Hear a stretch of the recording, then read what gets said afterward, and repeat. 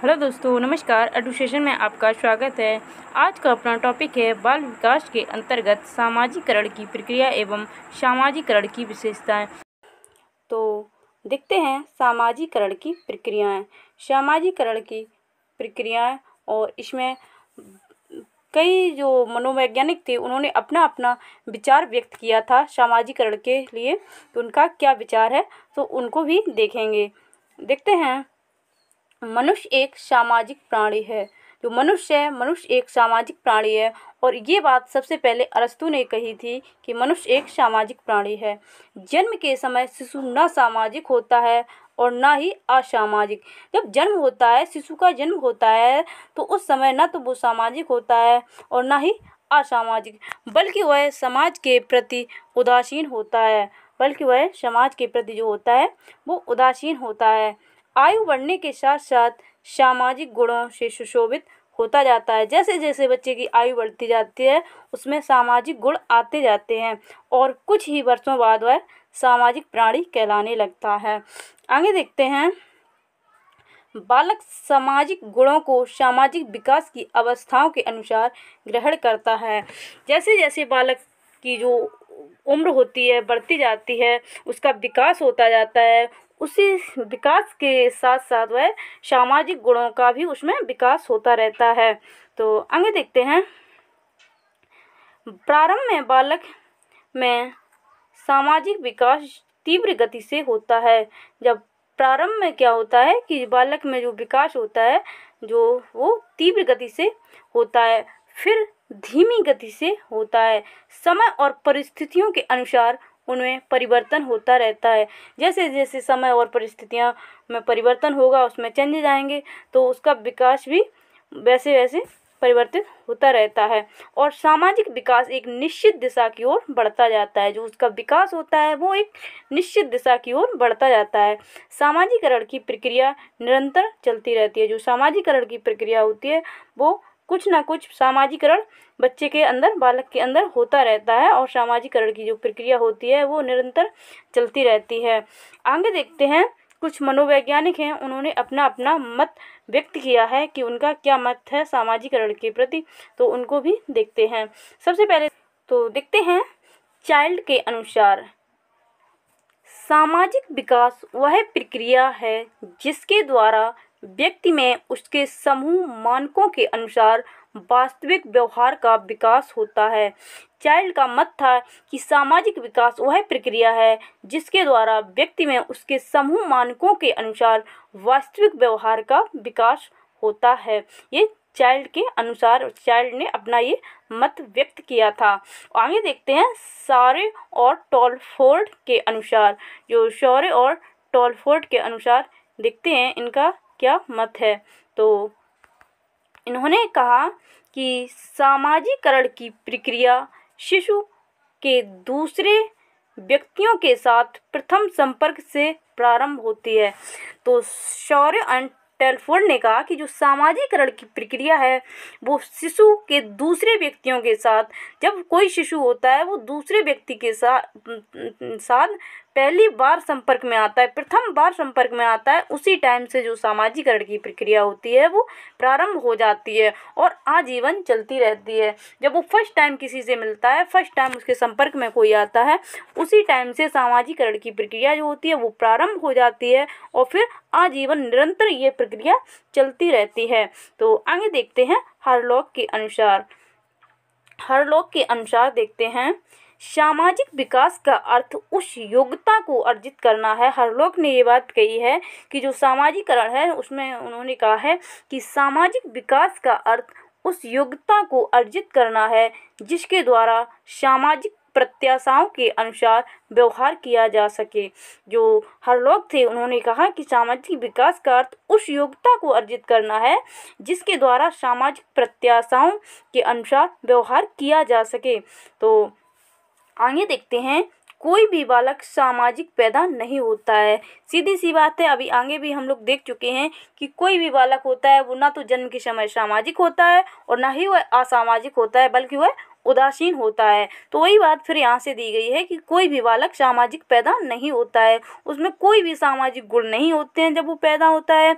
वह दूसरों के होते हुए भी अकेला होता है। भले ही दुनिया में कितने भी लोग हों तो उसका अगर किसी से संपर्क नहीं हुआ है तो उसमें कोई सामाजिकरण की गुण नहीं होंगे। चाहे कितने ही लोग हों, वो अकेला ही होता है। वह समाज में दूसरों के संपर्क में आकर समायोजन की प्रक्रिया सीखता है। जब बालक का जन्म होता है, शिशु का जन्म होता है तो जैसे जैसे वो लोगों के संपर्क में आता रहता है, उसी के अनुसार वह समायोजन की प्रक्रिया सीख जाता है और लोगों के साथ जो होता है कि कैसे, क्या करना है तो उन चीज़ों को वो समाज में आने के बाद ही, लोगों के जो संपर्क में आने के बाद ही सीखता है। लोग उसके साथ जैसा व्यवहार करते हैं, वो वही देखता है और उसी का अनुकरण करता है। इसीलिए सामाजिकरण की प्रक्रिया बालक के सामाजिक विकास के लिए अत्यंत महत्वपूर्ण होती है। तो आगे देखते हैं रॉस के अनुसार। रोश का क्या मत था? तो देखते हैं देखते हैं। सहयोग करने वालों में रोश ने कहा है कि सहयोग करने वालों में हम की भावना का विकास और उनके साथ काम करने की क्षमता का विकास एवं संकल्प सामाजिकरण कहलाता है। ये बात रोश ने कही है कि सहयोग करने वालों में हम की भावना का विकास और उनके साथ काम करने की क्षमता का विकास एवं संकल्प सामाजिकरण कहलाता है। आगे देखते हैं शोरेंसन के अनुसार। सोरेंसन ने क्या कहा है? उनका क्या मत है? तो उनको देखते हैं। शोरेंसन के अनुसार सामाजिक अभिवृद्धि और विकास का अर्थ अपनी और दूसरों की उन्नति के लिए योग्यता की वृद्धि है। मतलब सोरेंसन का ये मत है कि जो सामाजिक अभिवृद्धि और विकास का अर्थ है, अपनी और दूसरों की उन्नति के लिए योग्यता में वृद्धि, ये सोरेंसन का मत है। आगे देखते हैं, सामाजिकरण की प्रक्रिया में तीन प्रक्रियाएँ सम्मिलित की गई हैं। जो सामाजिकरण की प्रक्रिया है, उसमें तीन प्रक्रियाएँ सम्मिलित की गई हैं। तो देखते हैं इनको समाज द्वारा मान व्यवहार का विकास करना प्रत्येक समूह के व्यवहार संबंधी कुछ मानक होते हैं। समाज के द्वारा मान व्यवहार का विकास करना प्रत्येक समूह के व्यवहार संबंधी कुछ मानक होते हैं। तो आगे देखते हैं। बच्चे यदि इन्हीं व्यवहारों, व्यवहार मानकों का अधिगम करते हैं, जो भी मानक हैं समाज के, और बच्चे इन्हीं व्यवहार मानकों का अधिगम करते हैं तो उनका व्यवहार समाज द्वारा मान होता है। जो भी समाज के एक मानक हैं अगर बच्चे उन्हीं के अनुसार, उन्हीं मानकों के अनुसार अधिगम करते हैं तो उनका जो व्यवहार होता है, वो समाज द्वारा मान होता है। नेक्स्ट देखते हैं, समाज द्वारा मान व्यवहार के अनुसार क्रियाएँ करना। जो समाज के एक मानक व्यवहार है, मान व्यवहार है, जो क्रियाएँ हैं, जो संस्कृति है, उसके अनुसार ही क्रियाएँ करना। उदाहरण के लिए विद्यार्थियों अध्यापकों माता और पिता आदि सबके लिए कुछ निश्चित कार्य होते हैं।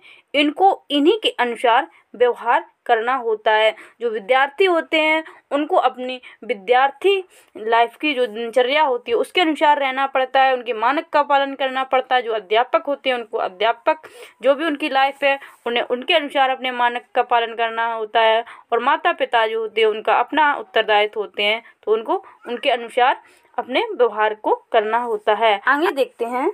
सामाजिक अभिवृत्तियों का विकास करना। जो सामाजिक अभिवृत्तियाँ होती हैं, उनका विकास करना। इन अभिवृत्तियों के विकास के कारण ही बालक सामाजिक कार्यक्रमों, समाज के अन्य व्यक्तियों को पसंद करता है। जब किसी व्यक्ति में उपर्युक्त तीन बातें पाई जाती हैं तो वह व्यक्ति अपने सामाजिक जीवन में सफलता प्राप्त करता है।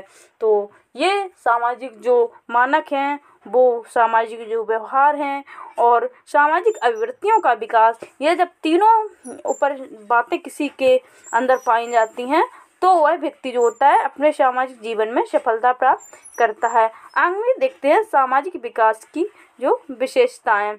तो सामाजिक विकास में जो कुछ विशेषताएँ ऐसी होती हैं, जो प्रत्येक बच्चे में, प्रत्येक बालक में प्रत्येक व्यक्ति में वो विशेषताएँ होनी चाहिए, तभी वो एक सामाजिकरण की प्रक्रिया में अच्छे से भूमिका निभा पाएगा। तो देखते हैं सामाजिक विकास की विशेषताएँ। सामाजिक विकास की विशेषताएँ निम्नलिखित हैं। तो ये इसकी विशेषताएँ दी गई हैं। फ़र्स्ट है, सामाजिक प्रतिक्रियाएँ ही सामाजिक विकास का प्रारंभिक चरण है। कोई भी शिशु है, वो अपने दूसरे व्यक्ति के संपर्क में आने पर सर्वप्रथम जो प्रतिक्रिया करता है तो वो सामाजिकरण के अंतर्गत आती है। तो इसी के साथ ही जो सामाजिक प्रतिक्रियाएँ होती हैं, वो भी सामाजिक विकास का जो है प्रारंभिक चरण है। कोई भी सामाजिक प्रतिक्रिया है, वो सामाजिक विकास के अंतर्गत आती है। आगे देखते हैं। नेक्स्ट है बालक खेल के माध्यम से समूह में अपनी सामाजिक प्रतिक्रियाएँ करता है। जो बालक होते हैं, वो खेल में ही, खेल के साथ साथ जो जिसके साथ भी खेल रहे हैं, वहाँ पर अपनी कुछ न कुछ सामाजिक प्रतिक्रियाएँ करते रहते हैं। आगे देखते हैं, सामाजिक प्रतिक्रियाएँ जो सामाजिक प्रक्रियाओं में सामाजिक सदस्यों के साथ अपने विचारों का आदान प्रदान करता रहता है। तो सामाजिक प्रतिक्रियाओं में सामाजिक सदस्यों के साथ अपने विचारों का जो होता है, वो आदान प्रदान करता रहता है। नेक्स्ट देखते हैं। नेक्स्ट है। तो नेक्स्ट है, अपना सहयोग देकर तथा दूसरों से सहयोग लेकर कोई भी व्यक्ति बड़ा से बड़ा कार्य कर सकता है।